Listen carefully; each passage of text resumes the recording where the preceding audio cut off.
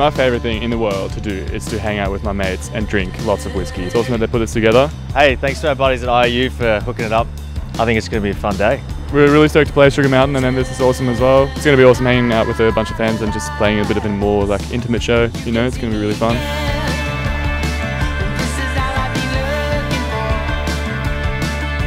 Well, I think if your afternoon includes some whiskey cocktails, some nice food, set from a great band, that's a pretty good afternoon.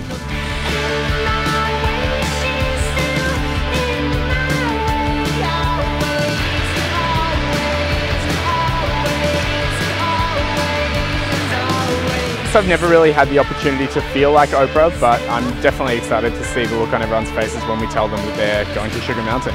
We have to act surprised as well. Oh my god, I had no idea. This is crazy! I guess they haven't been completely honest uh, with the intent of today. Um, some of you may have noticed there's a bus outside so that we can take everybody at this pub to Sugar Mountain at 2.45. So,